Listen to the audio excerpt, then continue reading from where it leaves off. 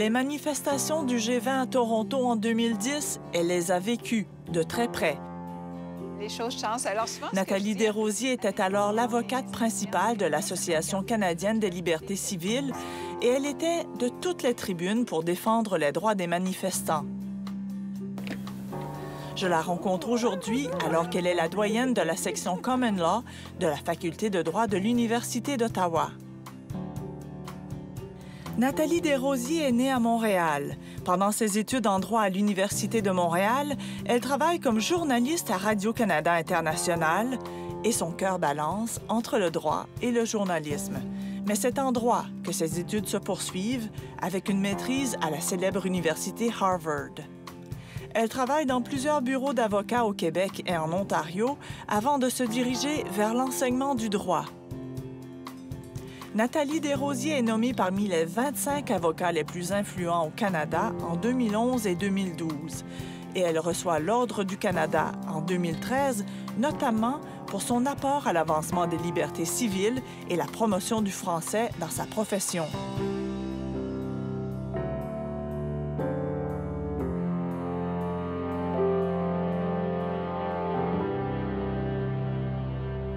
Madame Desrosiers, bonjour. Bonjour. Quand vous étiez jeune, votre père était notaire, votre mère était s'occupait de la comptabilité dans le bureau, votre tante en était la secrétaire. Est-ce que c'est vrai que vous êtes pratiquement née dans ce bureau-là? Ben oui, franchement, j'étais destinée, moi, à faire du droit parce que euh, mes parents vivaient euh, dans le bureau de mon père, c'est-à-dire que c'était un, petit appartement et une chambre, c'était son bureau. L'autre chambre, c'était leur chambre.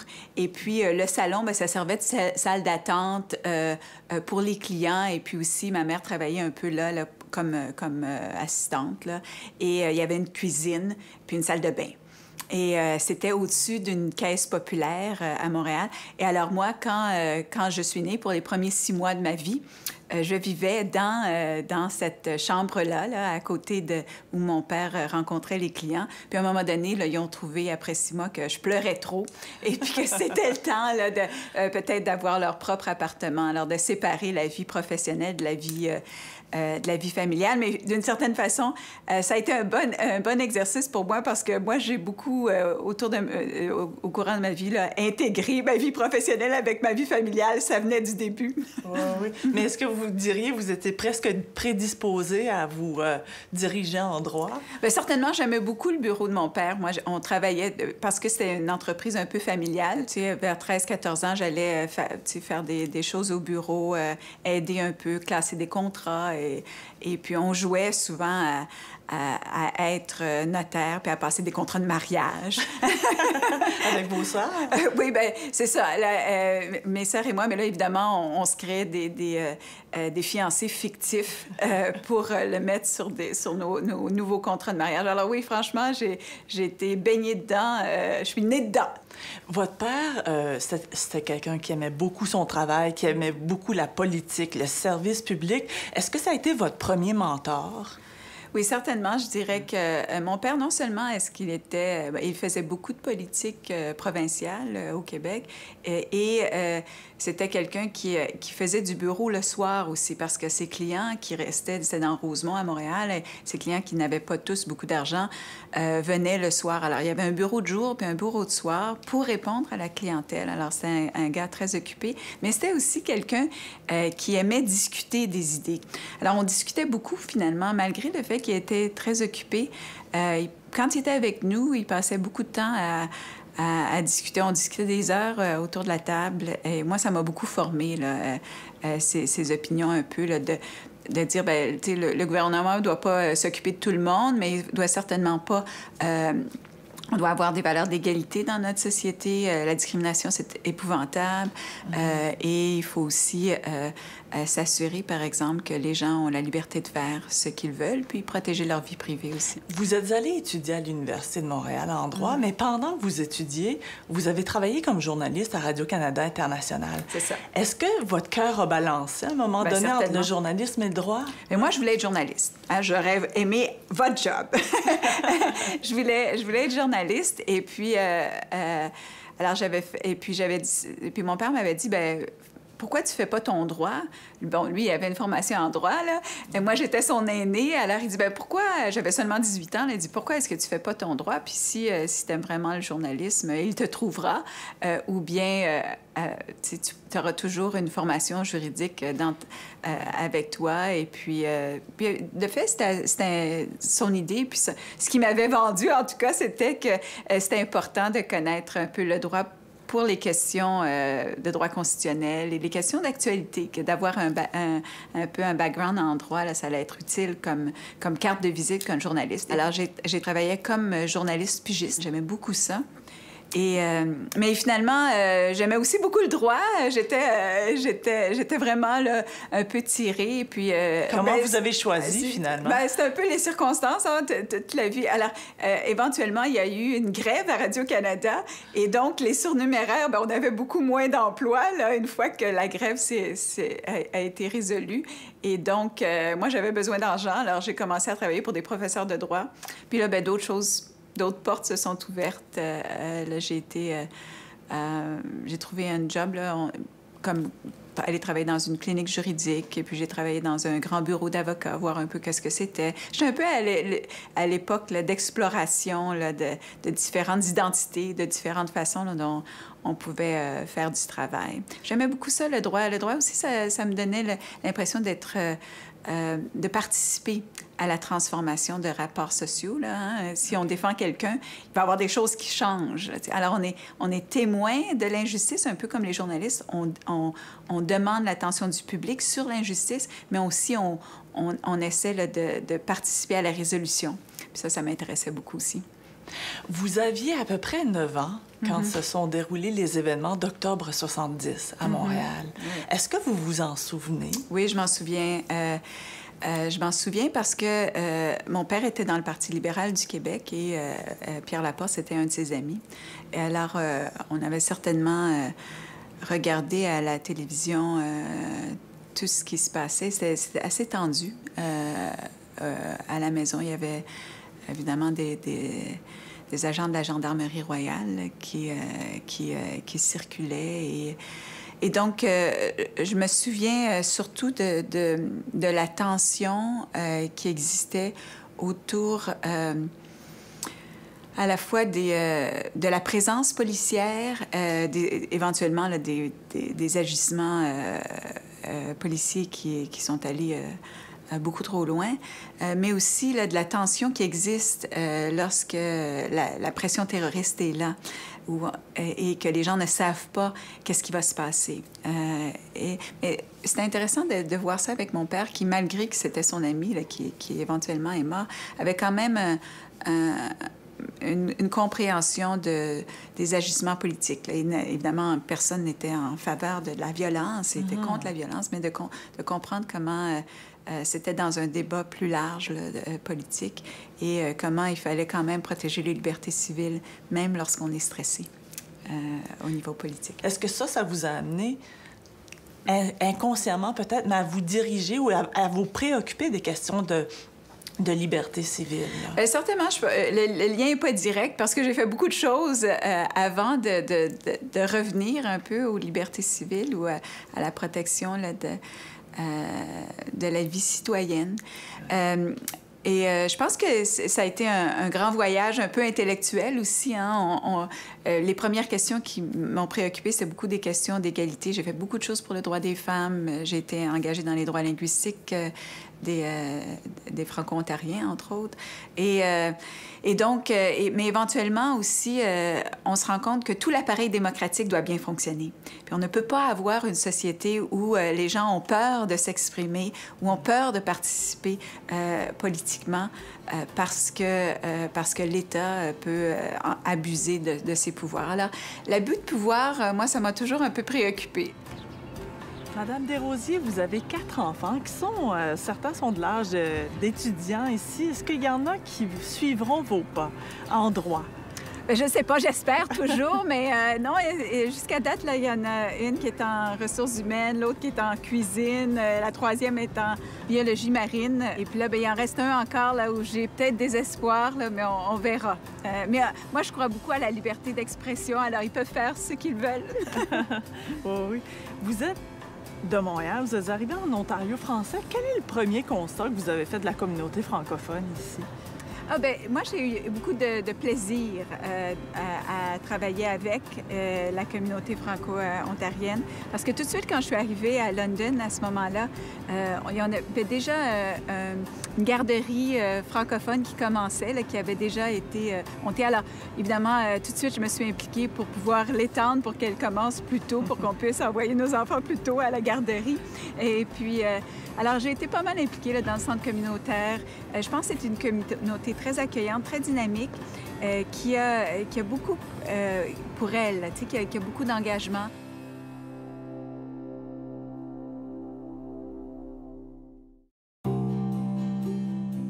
Comment ont été les premières années sur le terrain pour voir la pratique du droit? Parce que vous avez pratiqué le droit pendant de nombreuses années quand même. Oui, ben, c'est toujours agréable de pratiquer le droit parce que c'est tellement euh, euh, excitant. Euh, ça demande beaucoup de travail et c'est un peu énervant aussi, hein, parce que c'est beaucoup de responsabilités et on doit se situer un peu là dans un... C'est un, environnement à la fois intellectuel, mais aussi personnel. Hein. Il, faut, il faut avoir une bonne communication avec le client. Il faut convaincre le juge ou la juge. Alors, ça demande... Et, on négocie avec les collègues euh, euh, sur les, euh, les, causes. Alors, ça demande de multiples aptitudes. Moi, c'est ce que j'aimais. Hein. On était toujours sollicité à différents niveaux pour bien réagir. Alors, c'était très excitant. Ben, parce que ce que j'ai fait, moi, c'était un parcours un peu euh, bizarre parce que euh, du Québec, j'étais venue à la Cour suprême pour faire une cléricature et après ça, j'étais allée aux États-Unis faire euh, une maîtrise. Et là, j'avais rencontré quelqu'un qui vivait à London, en Ontario. Alors, j'ai dû refaire des des cours et aussi repasser le barreau en Ontario après l'avoir passé déjà au Québec parce que c'est pas le même système de droit. Mm-hmm. Et et donc, euh, lorsque j'ai commencé à pratiquer à London, en Ontario, euh, c'était en anglais. Et à ce moment-là, mon anglais était évidemment euh, pas parfait et j'avais, j'ai toujours un accent francophone assez, assez prononcé. Mais ça, Alors, pas trop dérangeant. Non, c'était pas trop dérangeant, mais c'était exotique, disons, dans, dans la, à, à, London. Et les juges se souvenaient de moi. Je me souviens un juge qui m'avait demandé, mon Dieu, mais je vous ai jamais vu ici, vous, là euh, qu'est-ce que vous faites ici? La salle était pleine, là, il y avait plein d'avocats derrière. Puis euh, j'étais un peu insultée, alors je lui réponds du tac au tac. Ben, votre honneur, j'ai fait mon, droit à l'Université de Montréal, j'ai fait ma caricature à la Cour suprême du Canada et par la suite, j'ai fait ma maîtrise à Harvard Law School et je représente M. Untel. Puis là, il me regarde puis dit Avec un background comme ça, qu'est-ce que vous faites à London, en Ontario J'étais allée un peu trop fort pour me faire, me faire entendre. Je voulais être bien compris, je voulais pas perdre, perdre de crédibilité, mais peut-être j'étais allée un peu trop fort. Alors, non, c'était. Mais j'aimais beaucoup. Euh, euh, la pratique. La pratique, oui. Euh, il y a beaucoup d'enjeux euh, sociaux qui, qui m'interpellent et à ce moment-là, c'était des, des, enjeux qui traitaient un peu de l'accès à la justice pour les victimes d'inceste, mm-hmm. des femmes qui avaient, ou, qui avaient été abusées sexuellement. Il y avait tout un problème juridique quant à, à la gestion du temps. Parce que normalement, lorsqu'on veut poursuivre quelqu'un, on doit le faire dans un certain laps de temps qui est mhm. prévu par la loi.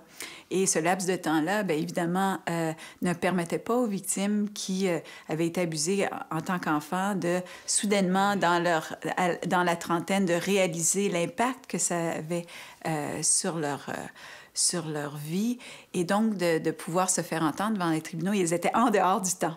Puis finalement, ben, on a gagné. Là, euh, euh, la Cour suprême nous a donné raison. Alors, c'était excitant de participer comme ça en vouloir euh, ajuster le droit pour qu'il réponde mieux à des, à des besoins de justice qui, qui avaient été peut-être passés sous silence.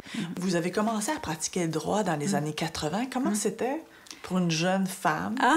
dans un bureau d'avocat dans les années 80, qui était, je pense, à l'époque, un milieu très masculin? Oui, bien, euh, évidemment, euh, on, faisait face un peu toujours à une espèce d'environnement de, euh, plus ou moins sceptique par rapport à nos, à nos possibilités. Et il y avait quand même assez de sexisme à, ce moment-là. Euh, il y en a toujours un peu, euh, mais c'était c'était plus flagrant. Il y avait des, choses que, que, les, avocats seniors disaient à ce moment-là, qui ne diraient plus maintenant. Bonne chose, là. et moi, je me souviens de m'être fait dire toutes sortes de choses comme Ah, ben oui, mais t'es beaucoup trop gentil pour faire du litige. Tu sais, c'est pas bon pour les femmes. Ben regarde-moi aller. Alors, un petit peu l'idée euh, qu'on n'avait pas dans le sang la capacité de faire du litige. Le mordant nécessaire. On n'était pas assez agressif. Oui. Attendez de me voir. Mais euh, il y avait beaucoup de choses à changer. Euh, on continue. C'est pas... les milieux juridiques se sont améliorés, certainement, mais il y a encore beaucoup de travail à faire. Vous avez été la présidente de l'Association canadienne des libertés civiles. Mm-hmm. Euh, vous avez défendu plusieurs causes. Laquelle vous a marqué le plus? Oui, j'étais euh, avocate principale. Euh, j'avais décidé de faire ça d'une certaine façon. J'avais été dans le milieu académique assez longtemps. Mon, mon domaine d'expertise, c'était le droit constitutionnel et le droit des femmes. Et je me sentais interpellée euh, par, euh, par la capacité, après les événements du, du 11 septembre, comment est-ce que notre système était un petit peu déboussolé euh, par, Toutes les questions de liberté civile? Oui. Ah ben, hein? moi, je me souviens d'avoir vu Maher Harar arriver de l'aéroport. Il avait passé un an torturé. Et finalement, là, il avait été capable de, de revenir au Canada. Et ça me semblait épouvantable euh, que le système juridique canadien ait permis que quelqu'un soit pris d'un avion, envoyé euh, en Syrie, torturé par un, an, sans qu'il y ait eu de procès, sans qu'il y ait eu euh, la capacité de vérifier si les allégations étaient vraies ou non, étaient, étaient justifiées ou non. Alors ça, ça m'avait beaucoup touchée en me disant, mais c'est ma responsabilité. Et donc, euh, je me suis dit, ben, il faut vraiment faire quelque chose. Et certainement, la cause qui m'a plus marquée, évidemment, c'était un peu euh, notre intervention dans le cadre des manifestations autour du G20 à Toronto. On avait décidé d'avoir un programme d'observateurs. On avait formé 50 bénévoles euh, pour être observateur. Et, donc, et on l'avait dit à la police, on avait rencontré euh, les services policiers pour leur dire c'est ça qu'on va faire. Euh, nous, on, s'inquiète toujours un peu des abus policiers dans ce cadre-là, des arrestations massives ou de l'utilisation du, de nouveaux instruments. Alors, on était assez bien, bien, bien préparés soudainement là, pendant les événements. Même nos observateurs ont été incarcérés. Euh, pendant, euh, pendant plus de 24 heures. Et donc, euh, ça, ça m'avait beaucoup frappé parce que je pense que je m'attendais pas à ça. Je m'attendais pas à, ce niveau là, un peu de d'abus ou de... C'est vraiment d'être pris par la police. c'est un peu l'expérience complète de vulnérabilité parce que tu sais pas quoi faire, tu peux rien faire, tu essaies de de négocier, de parler, mais euh, c'est le système qui te prend. Et mhm. puis, euh, euh, on espère toujours que le système va avoir suffisamment de balises pour qu'il fasse la bonne chose et que les gens ne soient pas abusés. Alors, c'est important que de, de, de, mener cette, cette campagne-là pour s'assurer que la, la, vérité sorte et que la police ou les services policiers apprennent comment gérer, mieux gérer les manifestations publiques. Vous avez été quatre ans l'avocate principale mm-hmm. de l'association et on, dit qu'en en quatre ans, vous avez réussi à donner euh, des dents et de l'envergure à l'association. Est-ce que vous êtes d'accord avec ça? ben, euh, ben, pas vraiment. Je pense que c'était, c'était une association qui était déjà très bien ancrée et tout ça. Et l'important, évidemment, c'est que, que des associations comme ça existent les gens ne seront pas toujours d'accord avec les prises de position d'une association comme ça. Hein. Mm. Euh, des fois, on défend des gens des causes qui ne sont pas toujours populaires. Mais euh, ce qu'on veut surtout, c'est que les gens se rendent compte que c'est nécessaire d'avoir des gens qui protègent la liberté d'expression, qui protègent la présomption d'innocence. C'est une espèce de, de contre-courant, c'est un contrepoids pour s'assurer qu'il n'y ait pas d'erreur euh, qui soit commise de, façon, de façon constante. Madame Desrosiers, on est dans un tribunal école ici. Vous avez déjà enseigné ici, n'est-ce pas? Oui, certainement. C'est une salle qu'on utilise à la fois pour l'enseignement, pour des conférences, mais aussi les étudiants peuvent se pratiquer euh, dans des exercices de plaidoirie font semblant d'être devant un juge et puis là, ben, ils, on, leur pose des questions pour qu'ils se pratiquent un peu. Ils deviennent de, meilleurs avocats et avocates. Oui. Est-ce que ça vous manque d'enseigner? C'est pour ça que je continue d'enseigner au moins un cours par année, pour garder le contact avec les étudiants. J'aime beaucoup l'enseignement. C'est vraiment une, façon de se mettre à jour et d'être toujours à la fine pointe des connaissances. C'est toujours intéressant de voir comment les étudiants réfléchissent sur différents problèmes euh, juridiques. Et ça nous oblige à, bien expliquer, à réexpliquer encore des choses que souvent on prend pour acquis. C'est un bon exercice.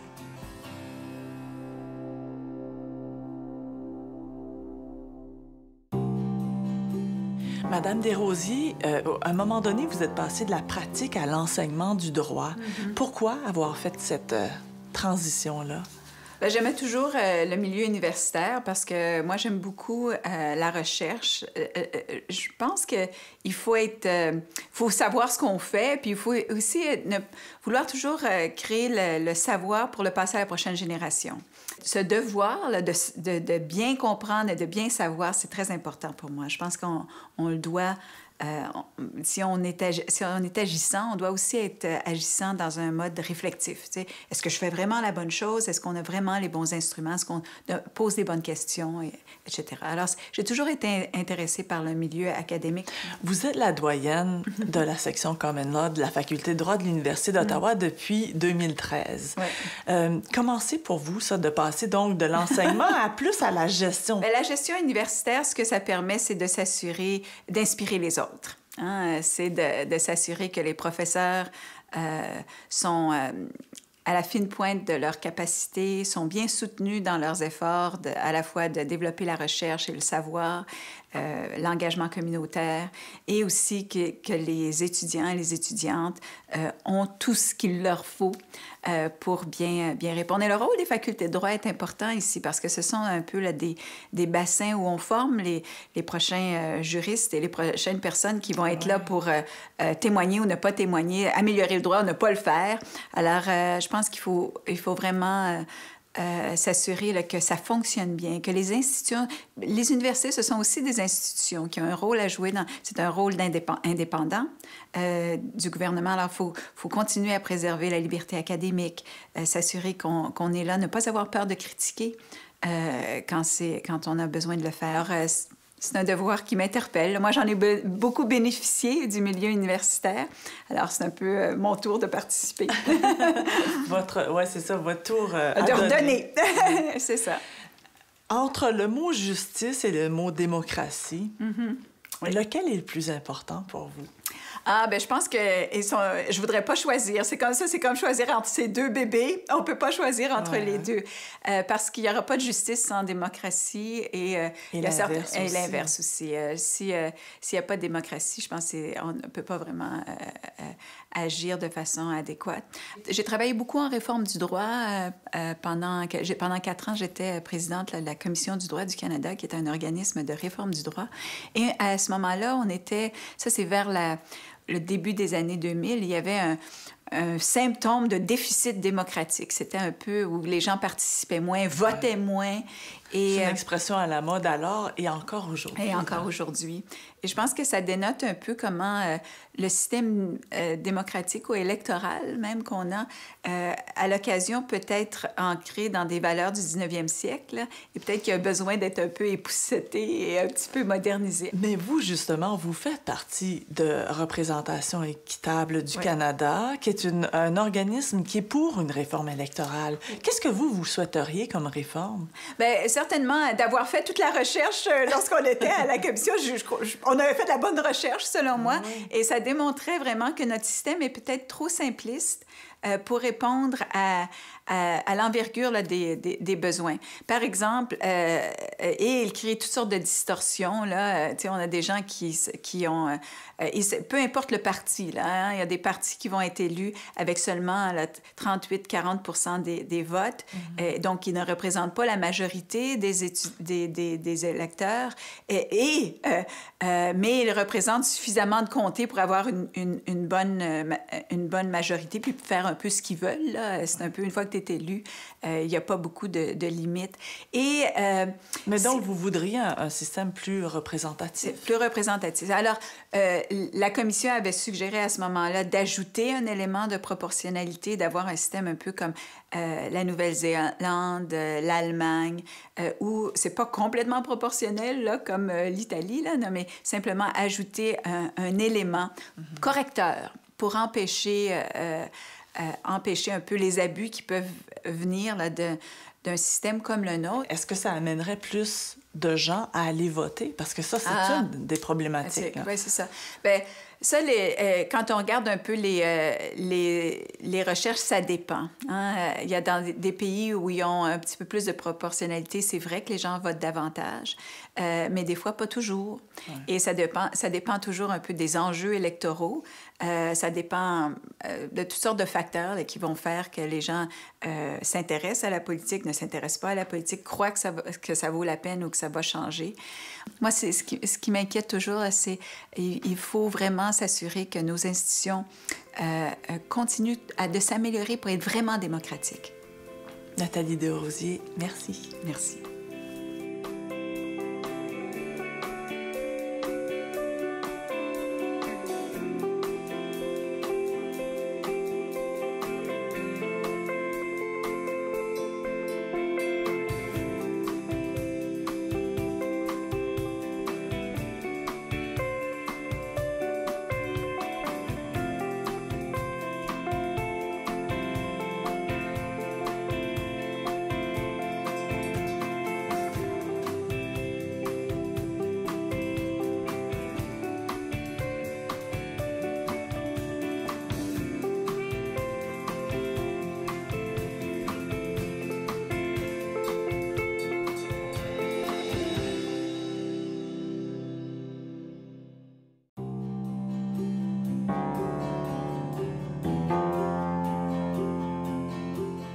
Les manifestations du G20 à Toronto en 2010, elle les a vécues de très près. Les choses changent. Alors Nathalie Desrosiers était alors l'avocate principale de l'Association canadienne des libertés civiles et elle était de toutes les tribunes pour défendre les droits des manifestants. Je la rencontre aujourd'hui alors qu'elle est la doyenne de la section Common Law de la Faculté de droit de l'Université d'Ottawa. Nathalie Desrosiers est née à Montréal. Pendant ses études en droit à l'Université de Montréal, elle travaille comme journaliste à Radio-Canada International et son cœur balance entre le droit et le journalisme.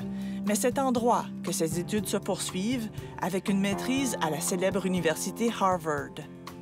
Elle travaille dans plusieurs bureaux d'avocats au Québec et en Ontario avant de se diriger vers l'enseignement. Alors, on discutait beaucoup finalement, malgré le fait qu'il était très occupé. Euh, quand il était avec nous, il passait beaucoup de temps à, discuter. On discutait des heures euh, autour de la table. Et moi, ça m'a beaucoup formé, là, euh, ces, opinions un peu de, dire, ben, le, le gouvernement ne doit pas s'occuper de tout le monde, mais il ne doit certainement pas on doit avoir des valeurs d'égalité dans notre société. Euh, la discrimination, c'est épouvantable. Mm-hmm. Euh, et il faut aussi euh, s'assurer, par exemple, que les gens ont la liberté de faire ce qu'ils veulent, puis protéger leur vie privée aussi. Vous êtes allé étudier à l'Université de Montréal en droit, mm-hmm. mais pendant que vous étudiez, vous avez travaillé comme journaliste à Radio-Canada International. C'est ça. Est-ce que votre cœur a balancé à un moment ben, donné entre le journalisme et le droit? Mais moi, je voulais être journaliste. Hein, J'aurais aimé votre job. je, voulais, je voulais être journaliste et puis, euh, euh, alors j'avais et puis j'avais et puis mon père m'avait dit, ben pourquoi tu fais pas ton droit? Bon, lui, il avait une formation en droit, là, et moi, j'étais du droit. Nathalie Desrosiers est nommée parmi les 25 avocats les plus influents au Canada en 2011 et 2012. Et elle reçoit l'Ordre du Canada en 2013, notamment pour son apport à l'avancement des libertés civiles et la promotion du français dans sa profession.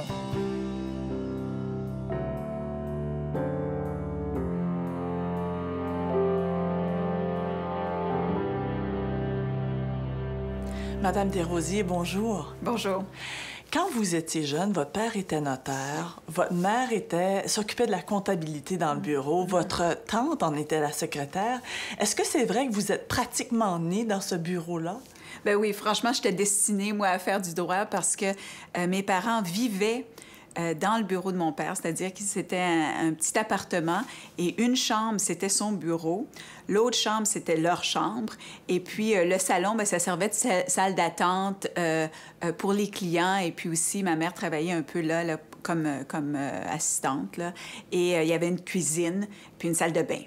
Et euh, c'était au-dessus d'une caisse populaire euh, à Montréal. Et alors moi, quand, euh, quand je suis née, pour les premiers six mois de ma vie, je vivais dans, dans cette chambre-là, là, à côté de où mon père rencontrait les clients. Puis à un moment donné, ils ont trouvé après six mois que je pleurais trop et puis que c'était le temps là, de peut-être d'avoir leur propre appartement, alors de séparer la vie professionnelle de la vie euh, de la vie familiale. Mais d'une certaine façon, euh, ça a été un bon, un bon exercice pour moi parce que moi, j'ai beaucoup, euh, autour de, au, courant de ma vie, là, intégré ma vie professionnelle avec ma vie familiale. Ça venait du début.